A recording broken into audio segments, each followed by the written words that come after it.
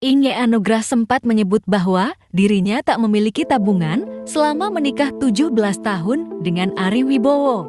Akibatnya, setelah berpisah dan pergi dari rumah Inge Anugrah harus memutar otak untuk mendapatkan penghasilan sendiri untuk bertahan hidup.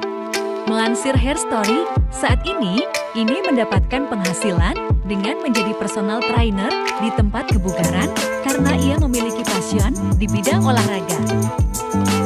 Selain itu, ini juga memiliki kemampuan memasak. Ia juga mencoba berjualan di bazar maupun open pill di tempat olahraga. Saat ini, ia juga aktif membuat video di YouTube, kemudian mulai mendapatkan penghasilan dari endorse di akun. Perceraiannya dengan Ari Wibowo yang terus disorot juga memberi kesempatan kepada Ine hadir di acara podcast artis dan entertainment.